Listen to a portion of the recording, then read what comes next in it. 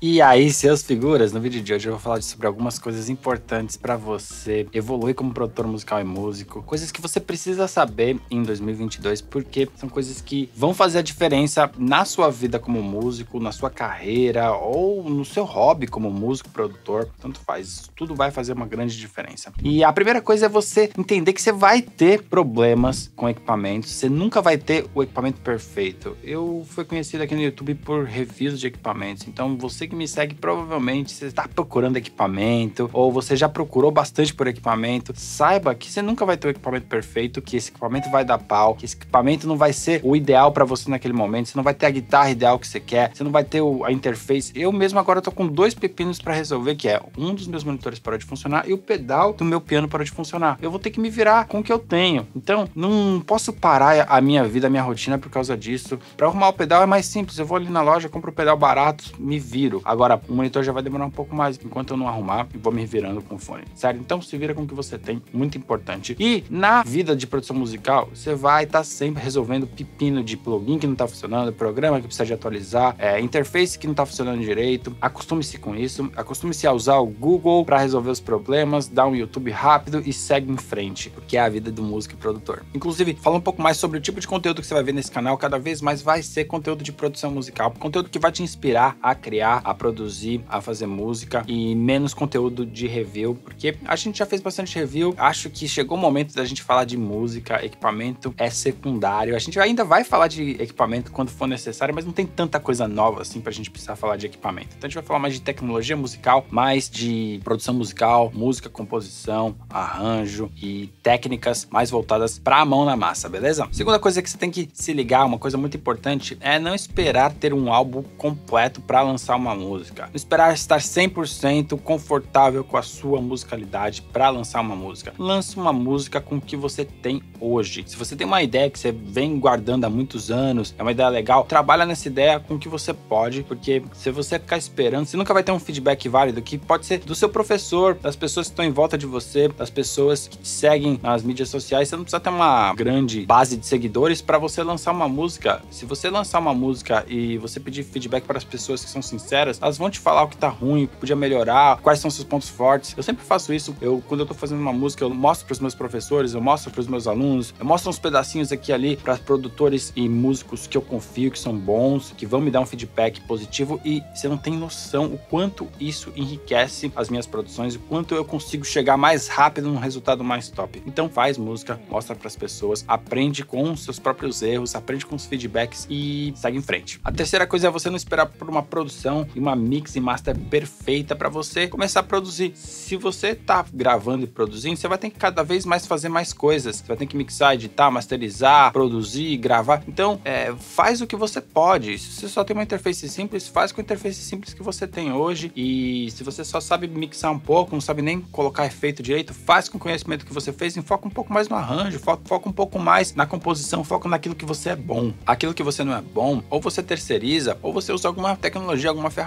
hoje tem plugins que te ajudam a mixar muito mais rápido, muito mais fácil. Você tem o próprio plugin Magic Vocals que você mixa a voz em segundos. Você tem o masterizador digital Blender que vai masterizar e vai deixar o som mais top para você muito mais rápido. Você vai gastar uma graninha? Você vai, só que pelo menos você vai seguir em frente. E existem até masterizadores digitais gratuitos. Tem uma lista de masterizadores digitais, você pode testar todos e ver qual que você curte mais. Então, se você quiser saber mais sobre isso, tem um vídeo que eu vou deixar aqui só sobre masterização digital, desses sites de masterização gratuito, beleza? Quarta coisa é você se preparar para fazer colaborações digitais. Você vai ter que mais cedo ou mais tarde colaborar com outros músicos. Essa é a nova realidade. Se você não colabora com outros músicos, você vai ficar preso dentro da sua casa, fazendo sua música sozinho. Você não vai evoluir o quanto você poderia evoluir. Porque eu lembro que a grande evolução musical minha foi a época que eu tava inserido num contexto musical, que eu tava tocando com outras pessoas. E hoje em dia não é possível. Primeiro porque eu moro no Canadá aqui e não conheço muita gente. Eu moro numa cidadezinha pequena. Inclusive, um dos motivos que eu tô pensando aqui em mudar é para ir para um lugar que tem uma cena musical um pouco maior para eu poder me conectar com outros músicos, porque eu sinto que isso faz uma grande diferença. Mas enquanto não tem, eu vou me conectando com outros músicos online. Inclusive, o pré-save desse single que eu acabei de gravar com dois seguidores meus, o baixista e uma galera que fez o metal, tá disponível aqui o pré-save para você conferir como é que foi essa colaboração digital. Então você tem que estar tá preparado para fazer essa colaboração. Se você não está preparado, se você não sabe gravar, se não tem uma interface de áudio, pega o básico que você precisa para começar e começa a estudar estudar um pouco para você estar preparado para essas colaborações digitais. Cada vez mais essa vai ser a nova forma de gravação, de produção, de colaboração. Cada um fazendo no seu canto, se juntando aí em um produtor, algum lugar que vai finalizar e depois vai distribuir essa música aí de forma rápida. Então você não precisa perder tempo indo para um outro lugar e essa colaboração ela é imprescindível nos dias de hoje. Você não pode depender de ninguém para fazer o básico, gravar, editar, mixar, masterizar, produzir. Você tem que saber um pouquinho de cada uma dessas coisas. Por isso que é importante você ter o seu setupzinho básico. Você não precisa se preocupar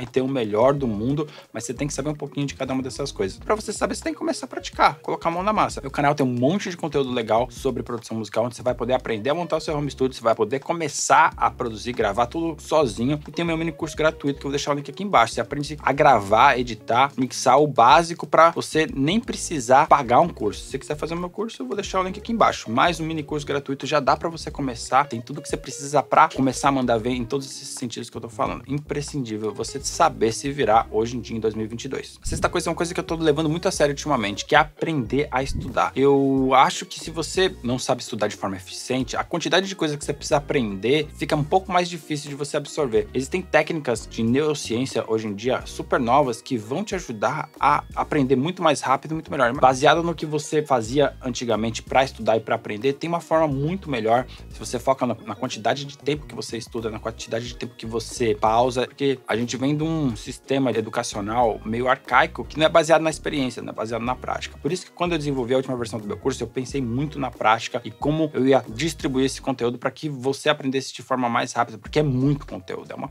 conteúdo de uma faculdade num curso e hoje em dia você tem que aprender isso, não pode ser em quatro anos, você tem que aprender isso em dois, três meses. É lógico que não vai de uma hora para outra. O lema é devagar e sempre, é consistência, mas existem livros que podem te ajudar, existem métodos que podem te ajudar, então escolhe um bom professor, escolhe uma boa escola, escolhe um bom curso. O YouTube é legal para você começar a saber o que é legal para você estudar e você encontrar as pessoas que você curte, se conectar com essas pessoas, mas se você for levar a sério, é, não, não depende só de YouTube. O YouTube é uma uma ferramenta de descoberta e depois foca de novo, tem o meu curso gratuito, tem o meu curso pago, vou deixar o link aqui embaixo. Essa geração mais nova, ela tem uma, uma quantidade de informação e uma quantidade de, de estímulos que vem para ela que ela não consegue lidar com a recompensa de longo prazo. Então, você aprender a lidar com recompensa de longo prazo é muito importante para você evoluir e conseguir entender que tudo leva tempo para você conseguir criar alguma coisa significativa na sua vida, você vai precisar investir um pouquinho de tempo todos os dias, beleza? Então, seja consciente disso. E por último, toda vez que tem uma grande mudança no mundo, como essa que tem acontecido com todo mundo nos últimos dois anos, e essa nova revolução da informação, as pessoas se deslocando para outros lugares porque elas não precisam mais estar em grandes centros, porque o mundo está percebendo que a gente não precisa mais estar todo mundo no mesmo lugar e que a chave para tudo isso é você aprender a abraçar a mudança. Se você ficar resistindo, vai ser difícil para você conseguir evoluir, porque é fácil você culpar os outros, é fácil você culpar o cara que não faz direito, o seu vizinho. No momento que as coisas estão mudando, é onde existem as transferências de riqueza. É a oportunidade que você tem. Você tem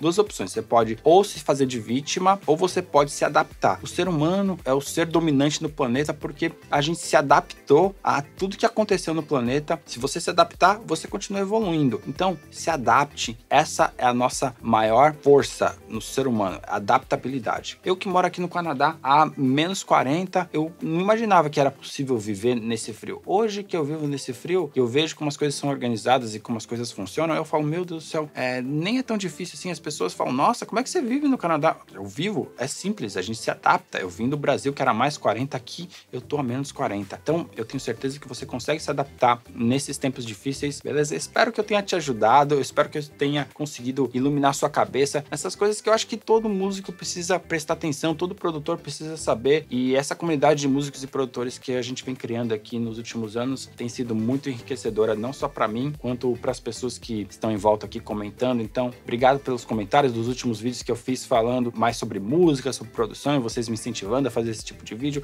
Vou continuar fazendo mais vídeo que vai tocar você de uma forma um pouco mais profunda, ao invés de simplesmente falar de equipamento, de coisa é, legal. É legal, mas a gente não vai focar muito nisso no canal. A gente vai focar mais sobre música, tecnologia e produção musical mesmo. E coisas que possam fazer tanto você quanto eu crescer juntos, beleza? É isso aí. Um grande abraço e, como sempre, te vejo no próximo vídeo.